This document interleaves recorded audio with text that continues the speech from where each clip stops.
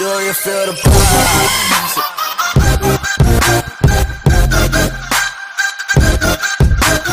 hey guys welcome back to another video. So in this video we found this guy. Actually it's a girl uh, with battle fury.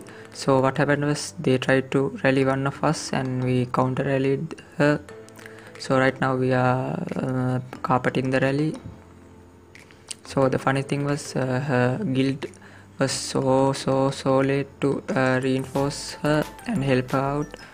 And the other thing was she panicked a lot i guess and she uh, reinforced sorry she sheltered his leader her leader and she didn't uh, took the leader out. So the first rally hit without uh, her leader out. So yeah. Uh, actually i need to thank mike for recording the rally because i was offline at the moment. So after that uh, they we uh, called our troops back and rallied her again. So uh, on the second time she was okay. She got reinforcement on the second rally. Uh, but the problem is uh, she really didn't thought we would carpet another rally but the carpet pack. I don't know what the name is. I'll just call, uh, call it the carpet pack. So it's pretty cheap. It's like 20 dollars and you can you get 10 carpets if i'm right. So people buy a lot of those carpets because well it's it's a big game changer. And because of this pack uh, people just carpet rallies non-stop. So as you can see she got reinforcements but i didn't think i wouldn't recommend her to eat another uh, rally. She could she could just have hide all of her troops.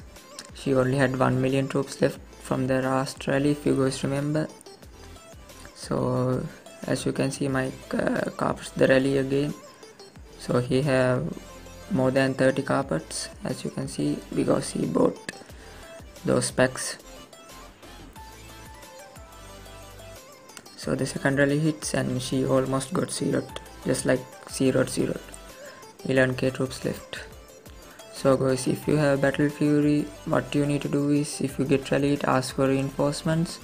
And if and when the rally hits you quickly run them out of the position because people uh, they will rally you again because they know you what you have.